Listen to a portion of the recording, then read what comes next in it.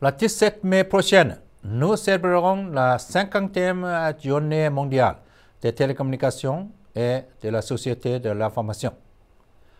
L'édition de cette année sera concentrée au thème Réduire l'écart en matière de normalisation.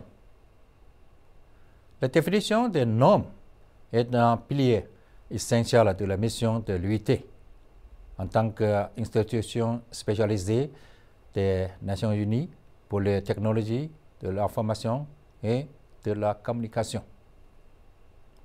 Vous voulez vous connecter à l'Internet, suivre une retransmission sportive à la télévision, écouter la radio dans votre voiture ou regarder une vidéo sur votre smartphone. Grâce aux normes établies à l'UIT, tout cela est possible. Les futures normes applicables à la 5G, en particulier si elles sont associées à l'intelligence artificielle, permettront la prise en charge d'un nouvel éventail d'applications qui nous paraît bientôt banal. Des voitures autonomes à des vies plus sûres et intelligentes.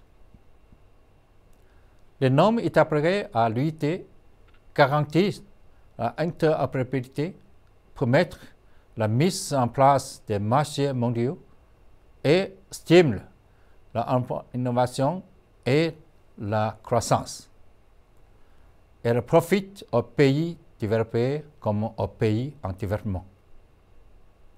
Elles contribuent à accélérer l'utilisation TIC pour atteindre tous les objectifs de développement durable.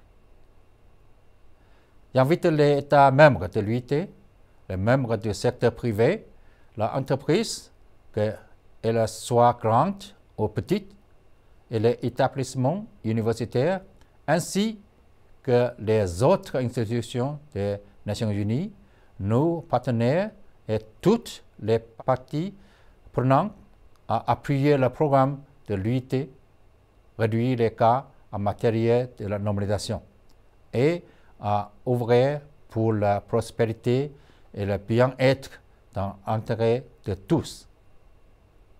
Je vous remercie.